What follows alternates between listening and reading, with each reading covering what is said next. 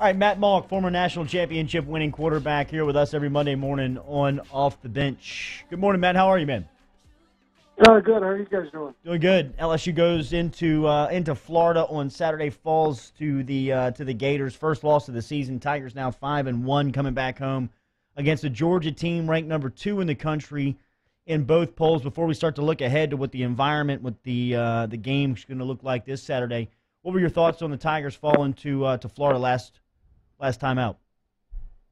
Uh, you know, I think you know, retire or whatever they did with Tim Tebow, and then uh, just a tough place to play. You know, I thought we actually did pretty well. Um, you know, we had a chance to win that game. Uh, just uh, you know, hated the way it ended. Um, I, thought for the most part we we we played pretty well. Um, one thing I was kind of disappointed in is uh, we just we seemed to have gotten such a better pass rush uh, in the previous games, and, and just didn't feel like we had very much pressure um, on them. So other than that, though, I thought we I thought we looked good. From an offensive standpoint, LSU's offensive standpoint, they gave up five sacks. Um, as as a a play caller or somebody as a quarterback who's going out there and executing the play calls, um, what's the best way to remedy that? Uh, you know, I, I think that run the ball uh, is one thing. Uh, use play action a little bit better. Um, I'm a big fan of you know early on just getting a hitch route or a slant or you know just completions. Um, I think are big. Um, I mean the other thing that that is tough on the road that you can do at home is mixing up the snap count. Um, and, and you just can't do that uh, when you, you know when you're playing in the swamp or some of these other environments. Um, so it makes it it makes it really tough uh, offensively um, when they have a good pass rush going, uh, doing things that uh, that can help offset that. Yeah, and I mean, I you know, you kind of feel for Steve Ensminger trying to call plays in that situation where it. You just if your tackles can't win you the one on ones, it's going to be tough for any play car, caller to dial something up. Um, when when you look at this loss, uh, Matt, do you think that was was Florida just the better team?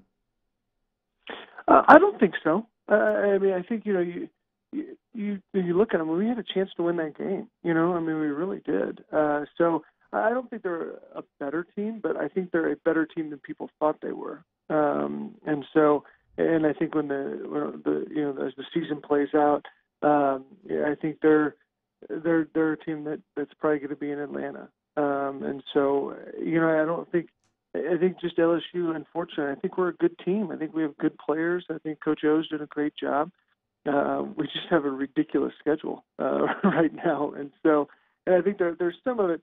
You know, no matter what you want to say as a coach, it's hard when you're when you're playing Florida, but you have Georgia coming up, uh, and you know that's probably the bigger game. Um, it, is tough to to sometimes uh, not not look at your your next opponent and who you're who you're playing.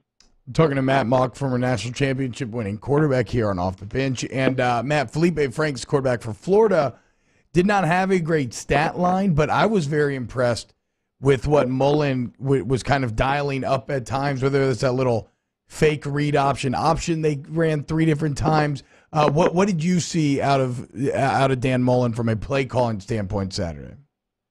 Yeah, you're not allowed to say anything nice about him. Wasn't that the guy that uh, that flipped for us? Wasn't Frank supposed to come to LSU? Yep. Yes. Yeah. Yeah. yeah. so you're not allowed to say anything nice about him. Uh, I think Dan Mullen. I think that you know he was a he was a great hire. Um, uh, he's a good coach. I think that uh, you know they uh, they do a great job of, of mixing things up. Uh, I mean that throwback uh, was really well designed. Yeah. Um, and nearly impossible. I mean, I, as a defense, how do you? I mean, that's that's pretty tough to stop. You know, just the way the when they called it and how it was done, um, and they executed it perfect.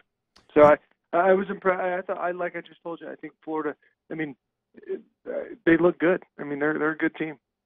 Yeah, I think that that whole final drive, Florida's last touchdown drive, between that, the option plays, the third and seven QB power that came out of nowhere. Like yeah. Mullen did a really that that was just great play calling.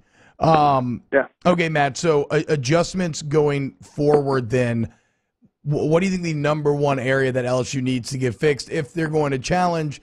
What looks to be like just three very tough games coming up. Yeah, I mean, I think you got to protect uh, Joe. I mean, I think that's the the first thing. I mean, you know, we talk about this every week that you know this is his whatever sixth start or seventh start or whatever it is. Uh, uh, and I know he's older and he's had some experience, but when you when you go into environments like this, uh, you have to have to have to keep him as clean as possible um, because it's just uh, from a QB standpoint, you don't mind getting hit, um, but it, it does take you off of your comfort and uh, you know you rep all week. All right, on my fifth step, I'm letting it go. Well, when on your fifth step, you have to slide to the right or the left or duck up. It just it just throws things off. Um, so I think the the cleaner we can keep the pocket, the better uh, for him. And then uh, when we run the ball, it's always you know a quarterback's best friend. Yeah, and and maybe you even just answered a bit right there, but but like I like take us into the quarterback's viewpoint where you know your tackles have been struggling all day long. You're getting beat up. And then at the end of the game, LSU was put into a lot of third and long situations. What's it like when you're in that very intimidating environment? It's very loud. It's third and long, and you know you got DNs who are whipping your tackles, just just like chomping at the bit to get after you. Yeah, well, and just from a you know defensive backs and uh, and linebackers, when when you're when you're you can get pressure with four yeah. Uh, I mean, it just it makes you more aggressive. You know, I think that like the that wasn't a bad throw, the the pick six. Uh, I mean, it really wasn't. But that corner knew, hey, we've been getting to this, we've been getting to the quarterback every single play. He's going to have to get rid of this quick. Uh, and so I think they can just play as defensive backs can play way more aggressive uh, when uh, when you're getting pressure on the quarterback. Last one, Matt. We'll get you out of here. You guys saw it up in Denver with Peyton Manning getting the record a couple of years back as the all-time passing leader in NFL history, uh, passing up Brett Favre. Many anticipate Drew Brees to do that tonight on Monday Night Football. As a former quarterback, uh, being around the Denver Broncos uh, organization and seeing Peyton Manning accomplish that, talk a little bit about what uh, what Brees is going after this evening.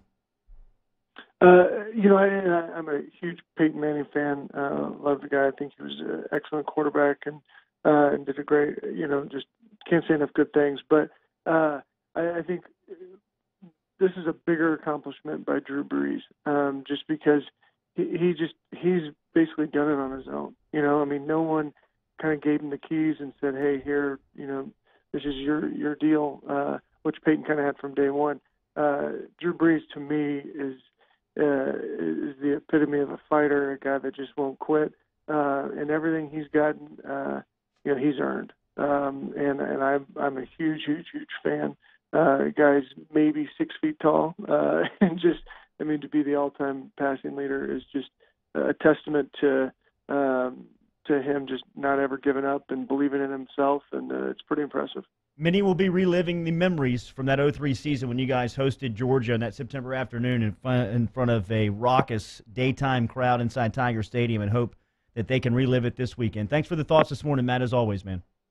All right, I always like talking to you guys. Thanks for having me on. Yep. All right, later, man.